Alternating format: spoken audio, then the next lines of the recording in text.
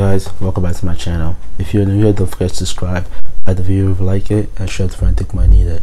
This video was requested by someone down in the comments. So if you have something you'd like me to do, leave it down in the comments and check it out. So this song's gonna be extremely repetitive. You're pretty much gonna be playing the same thing the entire song, besides like the chorus. So first thing you're gonna need is your guitar and standard tuning and your strings and open strings, so you don't need a capo. You're gonna need your finger on fourth string first fret and third string first fret. Play the sixth string, plus the fourth and third string together.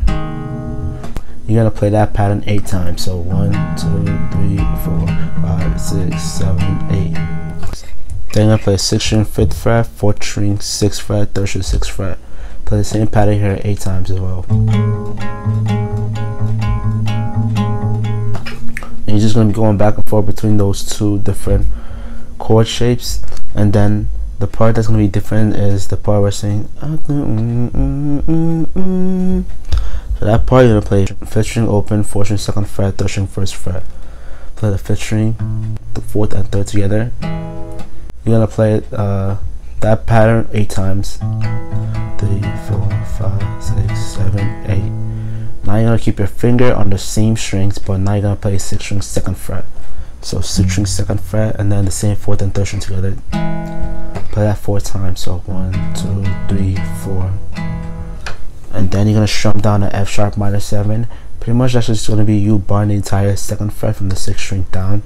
So sixth string second fret, fifth string second fret, fourth string second fret, so on. And after that, you just go back to playing this part.